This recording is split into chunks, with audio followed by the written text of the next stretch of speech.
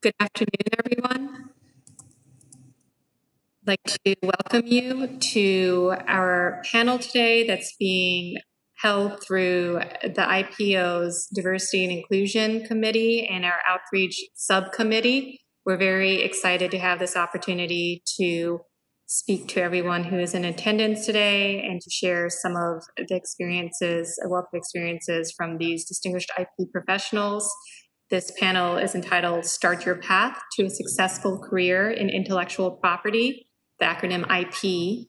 This is again hosted by the IPO DNI Committee, our outreach subcommittee, and we welcome our panelists, Gloria Fuentes from Merck, Leanthony Edwards and Elaine Spector. Leanthony is a associate at the law firm of Dinsmore and Shohl, and Elaine Spector is a partner at Harrity and Harrity.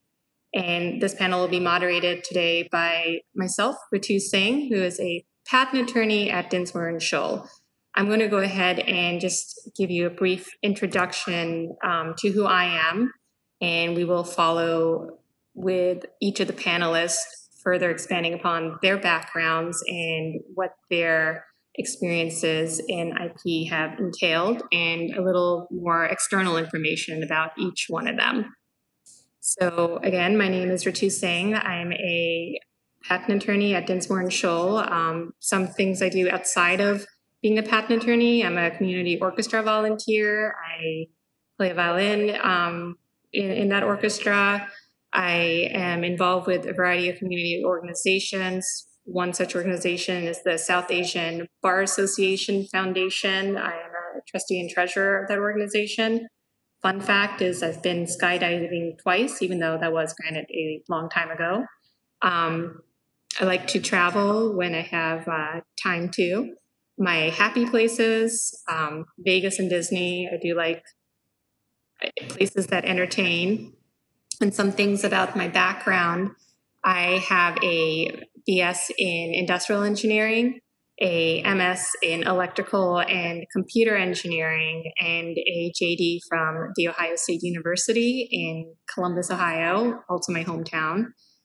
My uh, professional experience, I, before going to law school, worked for two years as an application engineer with a startup. Um, it started up through an incubator, and between the two years I was there, went from about eight employees to about 40 globally. So that was really an exciting experience that led me towards patent law and uh, really wanting to help with startups and their IP.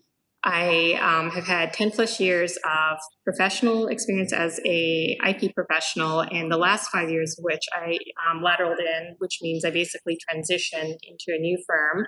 Um, and I've been at Dinsmore and Shohl since then. The next panelist I would like to have introduce themselves is Gloria. Gloria, if you can go ahead and, and introduce yourself in this slide. Hi. Yes, Good afternoon, everyone. I hope you can hear me okay. Uh, so my name is Gloria Fuentes. Um, I was born and raised in Puerto Rico. Uh, both of my parents were teachers, so they always uh, wanted us to go uh, to the mainland, the U.S., uh, to the best schools that we could get into. So I moved to the U.S. for college when I was 17. I went to Cornell University. I studied microbiology. At that time, I had no thought of ever going to law school. It just wasn't my thing. I really liked science. After my bachelor's, I went to the University of Rochester and got a PhD, and I thought I would do research. Uh, but, you know, life takes strange turns. I ended going to law school with the idea of becoming a patent lawyer um, because I had met some patent lawyers um, through my, my PhD work. And that has worked out great. Um, after law school, I worked in a New York law firm for seven years. And then I moved in house at Merck, a pharmaceutical company. And I've been working at Merck in various roles ever since, and I really love it. My happy place, though, it's not Merck, it's the beach uh, in Puerto Rico or really anywhere. I love lakes too. I just love being by the water. Um, I have two kids and a puppy that we just got yesterday. So I am busy with that, but when I am not taking care of them, I love to read. Um, I, leave, I read a lot, um, historical fiction and uh, nonfiction books. I, I just love read uh, anything that comes my way. And that's uh, that's my background. Thank you, Gloria. We'll go ahead and have our next panelist, Elaine Spector, introduce herself. Hi, welcome everyone. Uh, my name is Elaine Spector, and I'm a patent attorney with Harrity and Harrity. We're an IP boutique uh, located in Fairfax, Virginia, but I actually work remotely, so something I really enjoyed. I see some familiar faces from our women's workshop. Hello. Uh, my background, I have a BS in mechanical engineering, and um, I went to University of Maryland at College Park. I got my JD at University of Baltimore. I'm actually uh, from Baltimore. I'm still living in Baltimore, even though I did live in DC for about a decade. Uh, I started my practice at a small IP boutique in Bethesda where I really practiced every area of IP. I did trademark prosecution, litigation, patent prosecution, patent litigation, anything that came in the door, I handled. And that really set me up uh, to have a unique position when I moved to a larger IP boutique because I wasn't necessarily pigeonholed in a particular area when um, other partners, trademark partners found out, or litigation partners found out I had this background experience, and at small firms, you actually take the depositions. There were five attorneys, so we had a case. They sent me. They sent me for, for uh, judges' conferences, and you, you're just thrown into the fire. So one thing that was great about working at that small IP boutique is that I had really wonderful experience, and it set me up for my move to a larger IP boutique where I worked for about seven years and just really did a variety of IP work. Um, I also had some time at a large uh, GP practice. That was also interesting. But at that point, I had children. And so I wanted to focus on steadier work. The litigation was uh, harder for me to maintain um, and have that balance with our kids. I still did a bit of it. Um, but after I spent um, four weeks in the Eastern District of Texas for a four week trial, when I had my three kids, that's when I decided it was time to move to another um, uh, position. And that's when I found a position in Baltimore at Johns Hopkins University, where I practiced for about six years. And you know, a lot of people ask, how can you leave an in-house position to go back to private practice? Because private practice is so hard and challenging, and it's a lot of hours. Uh, I was able to transition beautifully into this position at Harrity and Harrity because they offer remote work and flexibility. So I was able to agree to a lesser schedule, a reduced hour schedule, less billable hour requirements, um, and be able to practice from home. So those commutes, I used to commute from Baltimore to DC, and um, yeah, I did that for about six or seven years. That was brutal. And then commuting downtown Baltimore from where I am uh, in northern Baltimore County was also, you know, takes a lot of time, about an hour and a half to two hours a day. So working remotely was a game changer for me and um, really working for a firm that kind of supports my interests and really has a focus on life work balance has been has been wonderful. So there's a way to practice law and have a life. And i'm sure a lot of you would like to have a life when you practice law.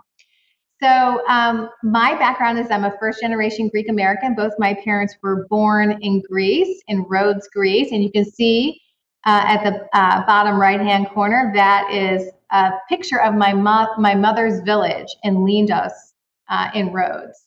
And so we spent a couple of summers there. We've taken the kids. Um, it's a beautiful place. If you haven't visited Greece, I highly recommend it. Uh, I am married with three kids. I have a house full of teenagers. Um, COVID provided an opportunity for me to say it was the first time I was happy I have just teenagers because they're self sufficient. So it's been an easier transition because I've already been working from home. And um, our family loves to travel. And one fun fact is that I was an extra in the movie Runaway Bride with Richard Gere. I have a picture of Richard Gere too. He's very, he's very handsome. And um, you see me for a second, so you'll never know where I am. But if you ever watch um, Runaway Bride, it's in the New York bar scene, and I'm at a booth with some other, actually, with some fellow law students. So this was recorded back in the late 90s. So also, I like to jog. So that's that's kind of my background. Well, thank you for that, Elaine. Um, I'm going to have to watch that movie and look for that that scene now. I watched it when it came out, so. My kids, I played it too many times. They're like, come on, enough already. We're going to have our next panelist introduce himself as well. Just get to slide here, Leanthony Edwards. Leanthony, if you'd like to say some words about your background. Uh, yes, hello everybody. Um, it's, it's good to see so many faces, and I'm sure uh, you know uh, many of you guys. This is the first time seeing me, even the uh, fellow subcommittee members. Um, I usually do our, our calls on on just audio. So hi, um, uh, my name is Leanthony Edwards, and I'm an attorney at Dinsmore Shohl. I'm a fifth year associate. Um, I think I'm the only panelist who does not have a patent background, so I got I have a little bit of a different perspective on the IP work.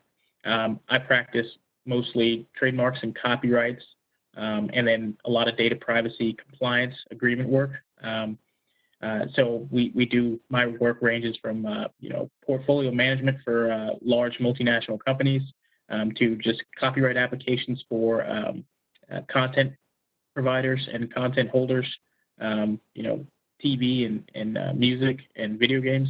kind of, I, I, like to call it the fun stuff. And then uh, we handle some litigation as well. Um, we, are kind of, um, you know, a jack of all trades on the uh, non-patent IP side. So it's uh, allowed me to do some fun stuff and get my hands dirty with a, a lot of different things. And then uh, uh, as far as my educational background, I'm from Southern California, um, but I've been here in Cincinnati and, and Dinsmore and Shohl's Cincinnati office for about, uh, you know, six years now.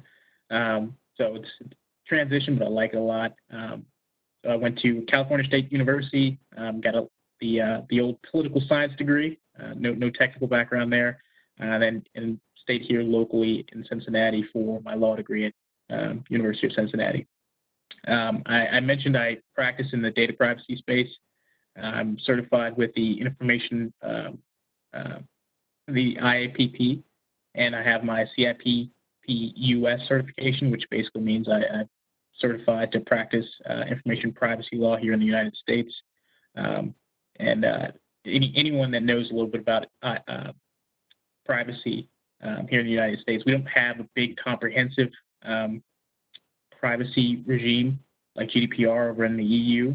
So it's a lot of different law, a lot of state law, um, a lot of different regulatory bodies involved, and it kind of depends on sector. So um, no day looks like the last one in my world, which is part of the part of the reason I like it. So uh, more about me, my personal profile. Um, African American man, like I said, I um, hail from Southern California. Um, married, and exciting news: I do have a baby on the way. I'm expecting a my firstborn son in about a month and a half. Um, really excited about that.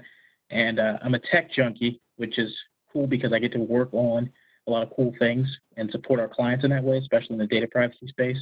Um, work with AI and uh, 3D printing and um, all that cool kind of tech stuff. Um, and uh, fun but strange fact about me, I'm probably the biggest donut foodie you know. I go to donut uh, shops in literally every state, and just so I can try the best one. Uh, my wife thinks it's weird, I think most people would think it's weird and probably should, but uh, I have a few pictures there, some of my favorites.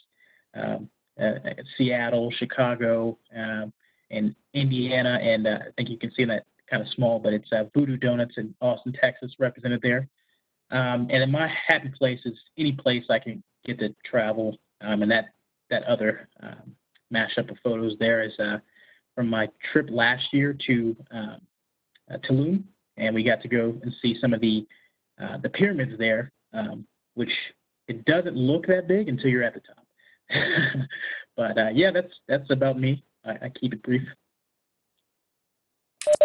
Thank you for that, Leanthony. And just so everybody knows what we're going to be doing for this the rest of the call, we do have a series of questions that we're going to ask the panelists to answer.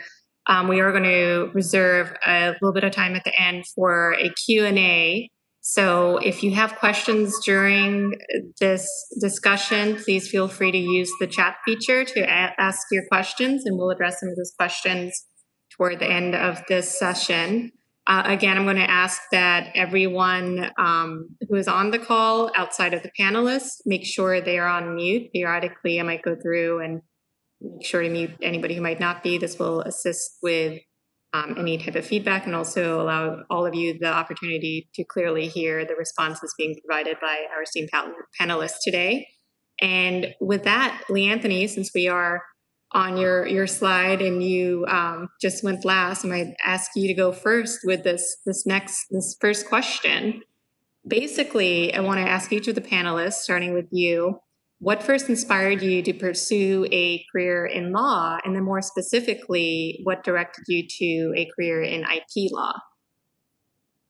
Uh, sure. I think the answers uh, to both of those are a little bit different. Uh, growing up as a as a black male in, in Southern California, I think um, it's I was I quickly identified the the power of, of um, position as a lawyer and the ability to affect change and uh, seeing all the different civil rights lawyers and legends out there, uh, being able to um, positively uh, make change and create change in the world uh, really inspired me. So that's why I got into law. Uh, but again, I don't practice uh, civil rights law at all. But I think when I got to law school, I just was really intrigued by working with cool brands and getting to work with you know partner with uh, clients. Uh, I think IP is one of the unique, unique spaces where you get to partner with clients and actually not be seen as as a cost. You you get to see more of it as a, a, a partner and and uh, someone who kind of helps the business.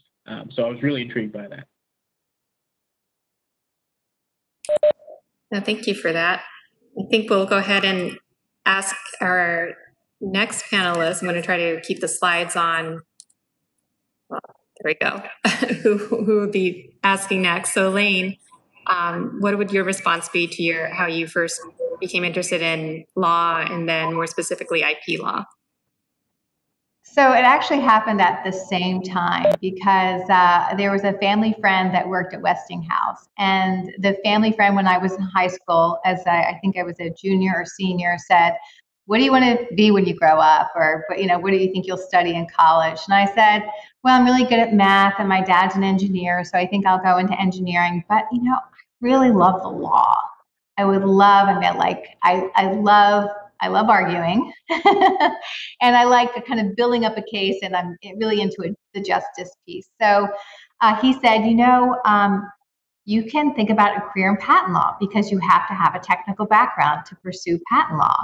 And so he planted that seed back when I was a junior. And so I really went through engineering school with the vision of wanting to become a patent attorney. I didn't want to practice as an engineer. That really wasn't really where my interest was. I really wanted to go into law. So one, one thing that was wonderful about that is that once you've been through engineering and you go to law school, for me, law school was a lot of work, but pretty easy. I mean, compared to engineering, it was know, people would complain about how hard law school is. I said, you all have no idea. Uh, it, this is so much easier, and you could really get into the cases. This happened to this person. You know, it was so much more interesting than kind of the theoretical engineering that I was um, learning at Maryland. So um, yeah, I was pretty lucky to learn about it at an early age because I know a lot of people don't find out about it until they're practicing engineers and they decide on a career change.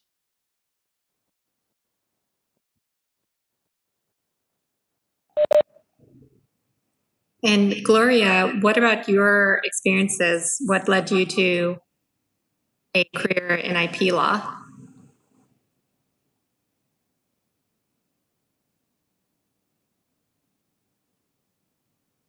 Gloria, can you um, hear us? Sorry, I was on mute. Uh, so for me, you know, I think I mentioned when I was introducing myself, I mean, law school is not something that was on my mind when I was an undergraduate and even a graduate student. I really like science, um, but I didn't like blood, so I knew med school wasn't for me. So I just went to grad school as sort of sort of the default. And while I was in grad school, um, my PhD uh, thesis advisor was working as an expert in a patent litigation. Uh, but he really didn't like the lawyers he was working with, so he refused to talk to them. And he's like, you know, they can talk to you, and then you talk to me, and then you go tell the lawyers what I said. Uh, so I was, I had sort of that experience to get to know sort of a little bit of what patent law was about, and I had a lot of interactions with patent attorneys that really opened my eyes as to sort of this new area. And I thought, I'd be really good at it because I really like the science, but I also like, I didn't want to be sitting in a lab on a bench doing experiments. Um, so I applied to law school while I was in conducting my PhD and then just finished my PhD and went right to law school after that. And the rest is history. That So it was about being in the right place at the right time. Otherwise, I wouldn't have, you know, life would have turned out differently. I was gonna say, that's actually a great segue into our next question, just expand upon it and your experience in grad school. Um, our next question is, how have your previous experiences, whether in different careers, roles, um, graduate paths, other academic paths, um, how have they affected your practice as an attorney today? Different experiences that you have taken from and learned and- and today as an IP attorney. So for me, uh, uh, I mean, the graduate graduate school experience was was great in many respects, right? I think I did a lot. I was young, right? After you get your bachelor's, you're still young. So for me, that those years were really important um, to learn and to develop my own thinking and my writing skills and my presentation skills. So it was a lot of learning and growth on that area. And uh, because I do patent law and I now work in a pharmaceutical company, even though science has evolved, so it's not like I'm using the science I learned 20 years ago. It kind of gave me sort of a, a common language with a lot of my clients, and it's really helped uh, my career in building those strong relationships with clients that are scientists. So I think it's it's it's been key for me to have that background. That's definitely something to find throughout our experiences. Like you definitely grow with them and learn how to apply them to who you are today. Um, so Elaine, what about, oops, sorry about that.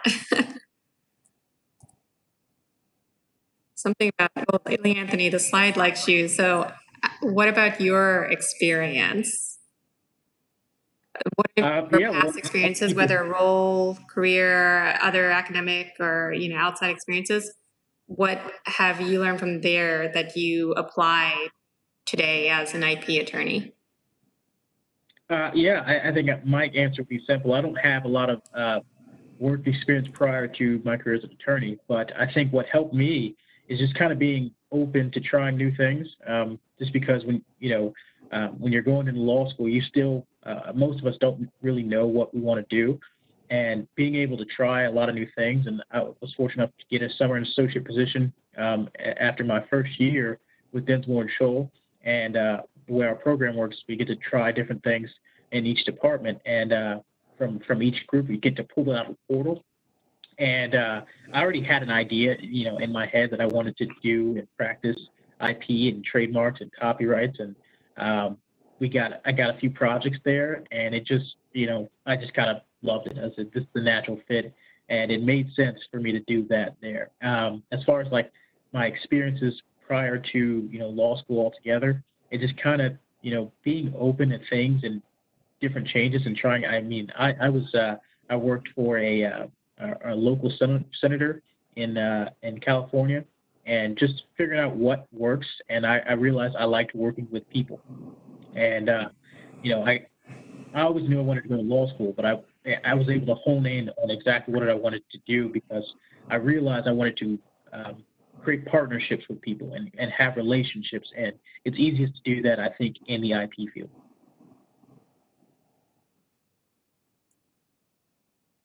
I think that's very important, definitely. And Elaine, what about you? What are um, what are some? I know you talked about it in terms of how you first were directed toward a path in IP, but are there certain aspects more than how you first directed, but teachings you apply to your career even today from some of your earlier experiences? So I, I, I think I was lucky in that I had a focus early on. So I knew when I graduated uh, from from Maryland that I was pursuing um, uh, IP as I was getting my JD gr- degree. So with that in mind, um, I sat for the patent bar. Um, my second year in law school, I wanted to become a patent agent and start get, gaining um, experience and kind of set myself ahead of uh, some others. And so I sat for the patent bar. and passed that. And then I was able to get a job um, at actually that small Bethesda practice that I mentioned.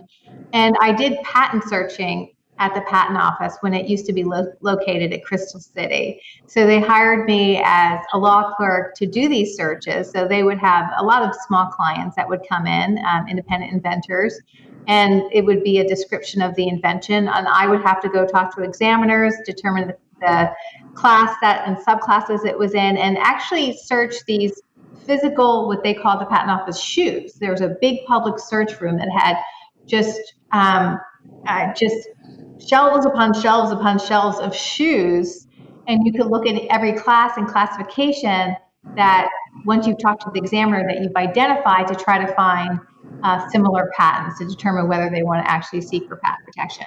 So that was really interesting, and that kind of set me up to understand the searching aspect that patent examiners have to undertake. And even now, sometimes when I'm dealing with restriction reject, rejections, I know the classification system, so I can kind of go through that a little bit. So that that was an inter- interesting experience. But I also think that's important to know that you can sit for the patent bar if you have your if you have your technical degree, uh, there's uh, requirements. You don't actually need some. Some only require, I think, 30 some credits of a hard science. So if you didn't actually get your, uh, you know, engineering or biology or hard science degree, and that kind of sets you up to be able to do some work as as a patent agent. So that's something I would recommend. Something I did early that really helped me uh, in my career. And this patent searching, they don't do that anymore. Thank God you don't want to be doing that. but it was an interesting experience that, that I had early on. Yeah, it's it's surprising to think about how even you know years into a practice you can think about something as a student or your first one or two years of practice that to this day that was a teaching moment that you can still apply so thank you all for for those answers. The next question is as as an ip attorney today what are different organizations that you would recommend an aspiring ip attorney um, to to join or take a look into joining? And even beyond those organizations what are different experiences that you would recommend for them to look into pursuing? So lane since we are on you i'm going to bounce this question back to you well, this is an IPO uh, webinar. So, the first organization I would recommend joining is um, Intellectual Property Owners Association. This has been a wonderful organization. Uh, we're part of the Diversity and Inclusion Committee. And I would say not just to join a particular organization, but to um, become a part of it, like volunteer to be on a committee that actually does work. So when I joined the IPO, um, I, I, guess about two years ago, I went to one of their meetings. It was a spring meeting, it was a smaller meeting, and I was able to be um, included in a paper that talked about uh, gender pay disparities. And so I worked together with a small group and was able to get, um, you know, author a white paper on this issue. And so there's a lot of opportunities for authoring papers, um, building relationships, networking. I mean, networking is going to be huge for you all. And uh, it's important to start it early. And I know as a younger associate, I thought, I don't want to go to these conferences. I'm an introvert. I don't like talking to anyone, you know, that kind of thing. But that it, it is when you work on these committees the, the group gets smaller and so you can collaborate and build relationships. So i really would recommend ipo as an organization but also to join specific committees within it and volunteer to get in, uh, involved in a paper or another aspect within the committee. I also recommend aipla i'm also involved in aipla and heavily in the, the women's committee in that organization. Again um, volunteer for leadership positions. They every, people are looking for, leadership is looking for um, lawyers or students that are interested in becoming involved and helping out. And we're really trying to accomplish a lot in our missions. And so that that would be um, a great way to get to know people and to network because that, that will be very important to you. Your network is is really very essential into your for your practice of law. Uh, I would also say uh, there are some diversity organizations for everyone who's diverse. Uh, MCCA is a Minority Corporate Counsel Association. I went to a conference last year for the first time and was part of a pitch session they had to six in-house uh, attorneys, and that was a wonderful experience. And so I would recommend joining diversity organizations such as MCCA or LCLD. And I'm, I'm also part of a board of a nonprofit called No More Stolen Childhoods. And I would recommend that type of work also as well. It might not be something you do right away, but it's um, having some board experience is also helpful uh, in advancing your career and also uh, to feel like you're giving back. So there are a lot of different organizations. There's also CHIPS, but um, those are kind of, I think AIPLA, IPO, and some of the diversity organizations are the ones I would recommend to start with first. Oh, Thank you. Gloria, what would you add to that as well as, um, you know, with your background in, in going through academia to the point of a, a PhD and then a JD as well? Um, are there organizations at school right now that you would also recommend um, somebody joining? So I think Elaine did a wonderful job. I mentioned a, a lot of the organizations I was going to mention. I think, you know, IPO, AIPLA are probably the, the, mo- the major organizations that sort of nationwide.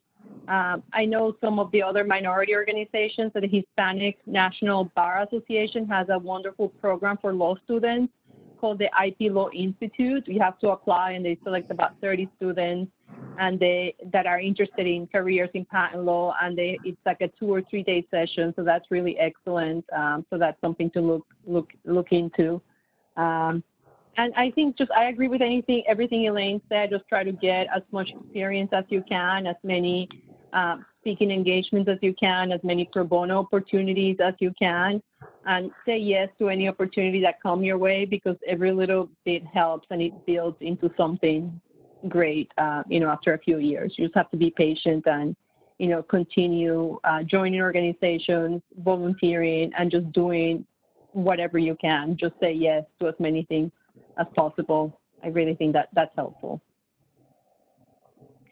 Thank you for that. And Leanthony, what would your advice be um, broadly in terms of different organizations and or volunteering um, opportunities for a student right now aspiring to be an IP attorney? Uh, yeah, I think it, it's important to uh, cover several areas. Number one, you want to join an organization that uh, will provide you the training and, and information that you need that will allow you to develop the skills that you want. Um, so for me, IPO is great. Uh, IPO annual meeting provides several different uh, um, CLE opportunities, continuing legal education, and they've got great uh, speaking sessions. Uh, I was able to attend one last year on um, uh, open source software, which is definitely relevant to what I do. Um, and then their trademark session is also really good. Um, another one for uh, you know learning and information and continuing your your actual legal development. For me, is IAPP um, for information privacy. Uh, that that work ties directly uh, with a lot of the, the IP work that I do oftentimes, um, and securing and protecting that IP and making sure it doesn't get into the wrong hands. So um, the, the definitely the the uh, the in- institutions that'll help you learn skills, and also I would say it's important to uh, make sure you cover both the local and national basis. I'm also involved with Cincy IP here locally uh, in the Cincinnati area. There's a great opportunity to meet and um, interact with local attorneys in your area, just so you can kind of um, figure out what's needed in your area, how you can fit in, and actually get some mentorship. Um, when you're first starting out, mentorship is going to be huge for you. Uh, you want to find mentors and develop mentors, and um, and I think the more you go out there, the better that's going to be. Now you can't always fly to uh, you know the annual IPO meeting, uh, depending because it, it moves there in different cities every year. So having that local um, group is definitely very important. That's great advice. And I think that um, one common theme that I'm definitely hearing from the panelists is really take this time to figure out what are the organizations that could help you grow, volunteer, take ownership, you know, be a leader, really take this time to put yourself out there and find those mentors and ask those questions as you volunteer and get involved. Um, on that, just going to this next question. Now that you are a IP attorney, and as there's that old adage of hindsight is 2020, what do you wish, looking back, was some advice you had been given when you were a student thinking about starting a career in IP? Anthony, we'll ask you first since we're on your slide. Um, yeah, I, I think uh, I think I would I would go back to that last point. Um, I know when you're starting off in, in law school, you're everyone's focused on getting good grades, and I think that should be the focus. But uh, I think it's also a good idea to start getting out there and and finding those mentors. Um, there were a few groups that I didn't find out until I was a third year law student, and I'm like, man, it would be great if I'd uh, uh, been able to join this. I think the ABA has their law student. Uh, I can't remember the, the entire acronym, but it's LSAG. Great group to join while you're in law school. You get to to uh, interact with like-minded law students um, and learn from them, and then also interact with the practicing attorneys because you get to help them schedule their their events and uh, uh, go to. A lot of times, I think they provide the, these scholarships to go to the events. And um, anytime you're getting opportunities to go to things for free during law school, I think you should take. I think that's great. And I, I am hearing a theme of say yes to these opportunities, seek them out, and just say yes. With that in mind, Elaine, um, what would some advice be that you would give to would give to yourself now if you could travel back in time and and talk to yourself as a student? So I'm going to say the opposite of saying just say no. Um, I think learning to say no is important um, as as a young attorney to understand because you don't want to take on more than you can handle. Um, you don't want to get yourself into a position where you you want to please everybody and you're taking on way too much and you don't end up doing um, a job that you wanted to do. And so I would say don't be afraid to say no. And maybe your no can look like, um, I really want to, I really want to do this work for you. Here's what I'm currently doing. Um, if this can be shifted and just kind of, kind of put it back into the partner's hands to say, um, you can negotiate kind of what what I can do because I really do want to help you. Um, this is what I have immediately on my plate. So I think not being afraid to say no to something because sometimes we end up, um, especially a type A, taking on too much and we get overburdened. And sometimes it's really important to say no and when to say yes and when to say no. So I think uh, looking back then, I wish I wish I knew a little bit about that more it's it's easier as you get older to be able to say no and take take some things off your plate yeah, I think that's really important. As much as you know, there's advice to seek out opportunities. There's also a a balance and a time management aspect that's critical as well to make sure that you're fully committing to those opportunities that you do say yes to. I think Gloria, um, the same question in terms of both not just student but also a first or second year IP attorney. What is advice you would give if you could travel back in time? Give to yourself then. Yeah. So, so I can think my advice would be to just be patient. I know, I at least for me, I was very anxious at that, you know, first day, you know, legal job to get those experience and you know to prove myself and to kind of do it all. And uh, it takes time and i wish so i i had a lot of anxiety my first year second year third year just a lot of anxiety to prove myself. And i know my fellow um, uh, lawyers that were also the one in, in my fellow lawyers even when we started law not not only in law school but at uh, at the law firm, we were all super stressed out. We all wanted to do it all, and you know, take the positions and do everything. And I just wish I had been kinder to myself and be more patient because it will happen.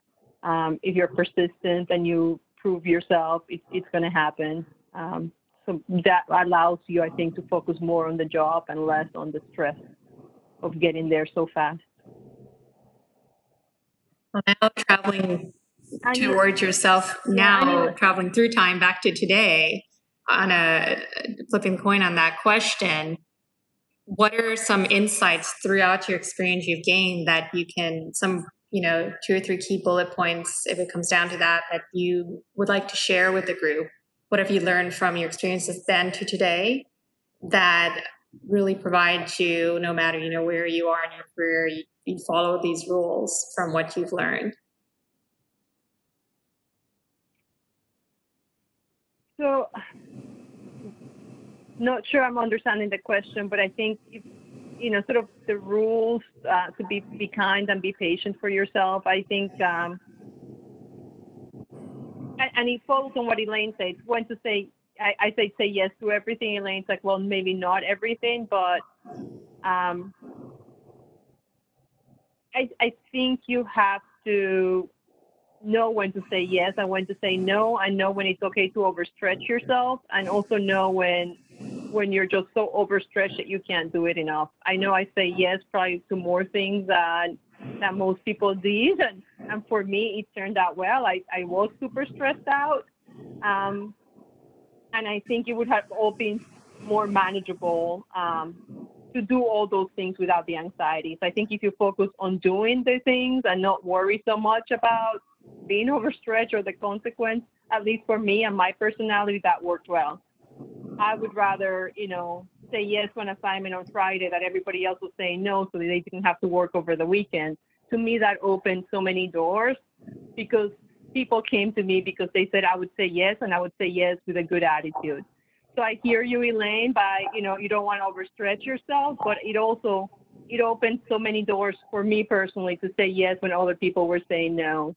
So I don't know. I think you just have to judge sort of what type of person you are and you know what you're willing to sacrifice and and sort of how you want it to look like for yourself. And I think we all have different personalities, so it works differently for all of us. I think that's pretty key that there's no one size fits all, but it's where it's helpful to learn from a variety of different experiences and perspectives. Um, so definitely thank you for your answer. Elaine, with that um, in mind, so for the insights, it's more of a broad based question. You can really share anything that you feel like sharing, insights now that you want to provide to the group from all your experiences till now. Um, some areas, if you want to share, might be insights in, with respect to work life balance or self care or certain things, like no matter where you are in your career, the, the rules I was mentioning, like things you follow, like Gloria mentioned, to be patient, um, anything of that nature. What are some insights that you can share along those lines with the group? So I'm, I'm laughing at Gloria because um, I can I can relate to the experience of being the associate on Friday afternoon and my phone would ring and you look at the phone and you think, oh gosh, do I really want to answer that? But it, it really did open the door because they I, I remember a partner saying to me at the point at that point we we love that we know that you are one of the only associates that will answer your phone on a friday afternoon. So beware everybody your phone rings on friday afternoon. Uh, there could be a weekend project. And i did answer my phone um, to and that that built a lot of rapport. So that that's an i'm going to important aspect as well. I would say for me over the years, um, something that has been important when we talk about a lot of Harrity is having that life work balance. And we're all different. Um, for me, I agreed to projects and things I probably shouldn't have agreed to. I mentioned earlier about being involved in a litigation uh, in the Eastern District of Texas that took me away from my children, who were three, five, and seven at the time, for about four weeks. It was in Texas. I live in Baltimore. It was very hard to go back and forth. I couldn't go back and forth. And so at that point, uh, even though I was mostly there to do prosecution, I had agreed to get involved in this litigation to help, help write a brief as being out added pro hac vice, and then I got entrenched in a trial that I, I probably could have said no to. Uh, was a huge litigation team. I, I wasn't second or third chair, and um, in in retrospect, I wish I would have um, said no. Um, I can provide support in another way. Um, so those kind of things of making sure that um, you take care of yourself and your family. I think that's the most important. And um, again, just take on opportunities um, where it's going to build you. It's going to, of course, support your firm and, and your career, but also making sure kind of having that life work balance and perspective and um, you know don't don't be afraid if if you get and i feel like i have through the different positions i've had to finally get to a position where you feel like i'm really at a very good balance now Um, and you all are really lucky. You're coming in into a time where firms have reoriented their thinking from when I entered the profession in the mid 90s. And, and these things like work life balance or life work balance are kind of everyday things we talk about. There are reduced hour schedule, there's um, set maternity leave at, at, at most every firm. So um, enjoy that aspect. Paternity leave as well. As well, there's there are definitely more programs that are available. So, and with COVID, quite frankly, there's a lot more opportunity to work remotely if that's what you want to do. Some people love being in the office, but some people do like to work remotely. So I'm hoping that through COVID, people will have the opportunity to be able to work remotely and just get more of a balance and not have to sit in traffic if they don't want to. So um, yeah, I think considering the life work balance, that's an important aspect. And I'm, I'm, I'm just grateful that you all hopefully will be having a different experience than a lot of us uh, went through, um, you know, some 20, 20 some years ago. Thank you. And Leanthony, as a associate right now in a law firm and focusing on trademarks and copyrights, um, what are some of your insights that you can share? Really, again, broad question, but you know, whether it's something just to the group as a whole or things that you've learned that you believe will stay with you throughout your career, what are some of those those points you would like to share? Uh, yeah, sure. I'll, I'll uh, keep it brief to allow for uh, some questions and answer right after. But I think uh, it's important to realize uh, once you graduate law school, it's not it's not done. You're not over. Um, let's say the the USPTO releases some guidance on their uh, on um, trademark applications or or the CARES Act and and deadlines extension you should be one of the first to read it and, and circulate it to the group. It'd be helpful. It'd be something somewhere where you can uh, build up your expertise and someone uh, a way for you to provide value as a young associate. Uh, you know, if if the TTAB, the Trademark Trial and Appeal Board, releases some guidance on um, protective orders, um, be the first to read it, know it. Um, so when a partner comes and looks at you uh, about uh, discovery, you're able to say, you know what, I'm already on top of it. I read it. Here's the here's my assessment of the situation. I think it's helpful to have that background and to, to have that mind to um, partners and the clients you work for. Oh, thank you. And I think um, just to let people know, we are going to save some time for Q and A. Um, so if you have some questions, feel, please feel free to start chatting or using the chat box to ask a question and we can look through them um, to ask the panelists as well. I think overall, a common theme that I was picking up from the responses was really um, both self-care, how to have balance between, you know, work-life balance, or as I've heard it called as well, a work-life blend, and then also really those soft skills. Um, which are also important, such as, you know, when you are a developing associate, being able to pick up that firm or that, that phone call from at a firm, the phone call from a partner, and really being able to avail yourself of these opportunities. So we have, um, let's see, we have a question from Sarah Sue for Leanthony, or and open to anyone else as well. I'm going to read it out to the group. She's a Sarah Sulandu. She's a recent graduate. She graduated in May and she's trying to find a job at a trademark copyright firm. She's found that in the current environment, because of COVID, um, a lot of firms have been hard hit by COVID or having hiring freezes. In your, is it your perspective that work in IP has thrived up in COVID, or is it type of thing where you believe firms will start hiring again soon and it's really just um, basically impacted because of the environment? Um, and if not, at what point do you think it is worth it to give up on IP and try to start a career in a different legal area? Um, so I guess the point of the question is, has it really, how's the impact been on IP? Is there still work in IP or is this really, or hiring freezes generally more of a COVID related item? Leanthony, what is your take on that? Um, I, I guess the, the first answer is, you know, how, what's the work like? Um, I think we've had a steady workflow um, since March on. I think uh, as far as my billable month, I think April might have been my highest month of my uh, our, our billable annual year. Um, and then it's continued. July's been another busy month for us. So I think there's this, the work is there still. Um, I don't think the interest in protecting your IP, you know, trademarks, copyrights, um, uh, is what I can speak from. Um, I don't think the interest in that has, has gone away from the client side. I think in terms of getting a job, I think uh, I, I wouldn't say you know just give up.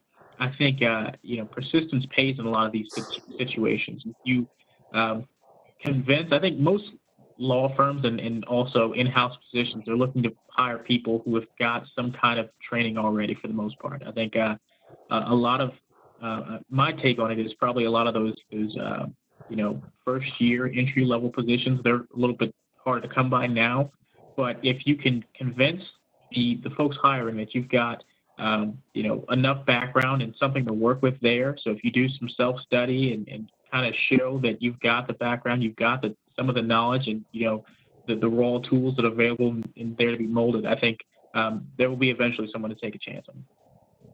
Uh, thank you. I think uh, Elaine or Gloria, if either one of you wanted to answer that question as well from your perspective, do you believe that um, there's still, you know, a good amount of work in IP right now, or and that the hiring um, issues might be more COVID related, or what your perspective on that is at the mm-hmm. moment.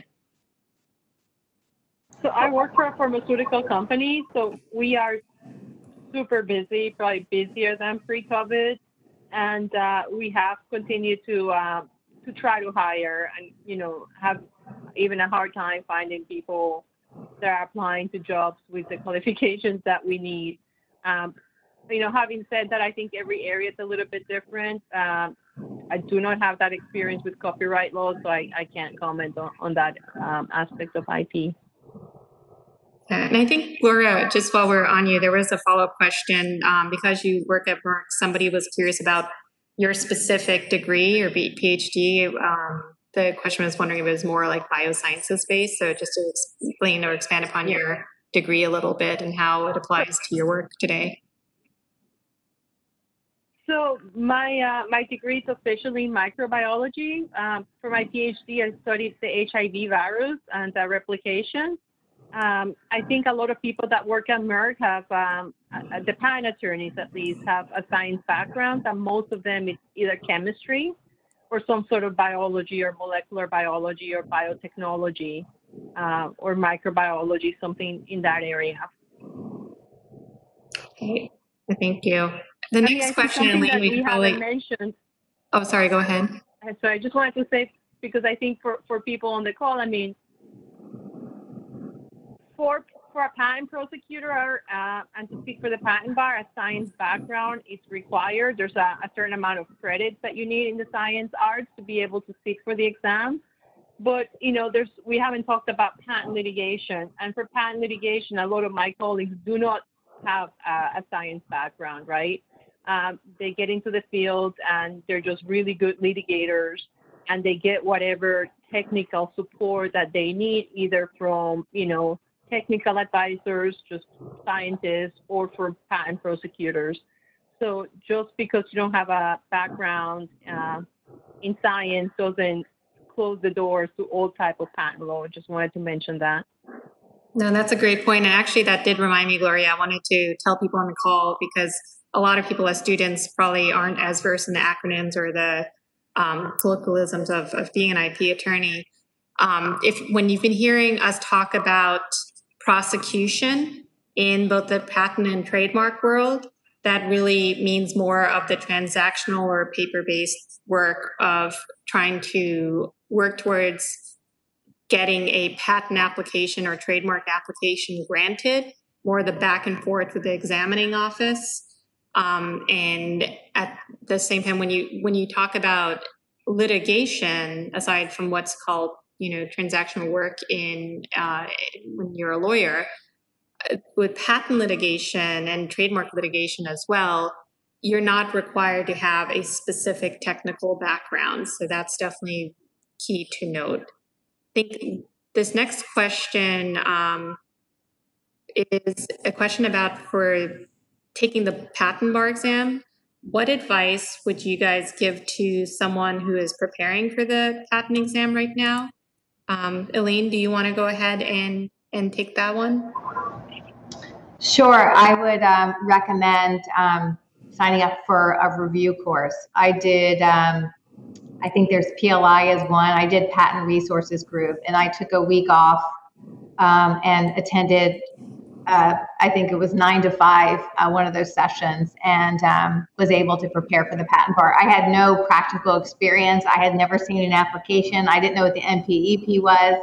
I, I really had no practical experience. So I would recommend taking one of those courses. And I imagine during COVID, a lot of them are online or self studies. So you there, it's it's not. I would say the patent bar exam, to me, and maybe because I was still uh, a law student, was a harder exam than the state bar. Um, and, it could have been because the year I took it actually was, I think the passage rate was 33%. Uh, but, uh, and the questions were really very difficult. Um, but it, it, I had no practical experience. So that it does make it more difficult if you, you really don't have a context in, in what, what the MPE is about, MPEP is about, and, and some of the varying um, office actions and responses and these nuances of patent law that, that you learn during practice. But if you don't have any practical experience and you haven't gained experience as a as a law clerk, I would suggest taking one of these courses that should run about a week. But I don't know how, how long they are now, but I would highly recommend taking one of those courses. It helped me pass the patent bar. Yes, and just to follow up on that, I know there's always a question of should you wait, you know, while you're working as an attorney to take the patent bar, or should you take it ahead of time in, in law school? There's pros and cons to both, but if you have that skill set before and you're interviewing, I don't see how that could be a negative because people know that people already jumped ahead on the learning curve by knowing some of this, the rules and the terminology. Um, there are a few other questions that we've we've touched upon, but just to reiterate, there's some questions about um, somebody mentioning that they have a finance background. Is there a spot for them in IP? Yes, definitely. You know, you can work on more there it might not be a patent prosecutor but there's definitely other areas of ip copyrights trademarks licensing you know software licensing things of that nature and litigation as mentioned before. Even patent litigation doesn't require someone to have actually have sat for the patent bar or have that technical background. So there's definitely a spot in ip um, for anybody you know graduating from law school.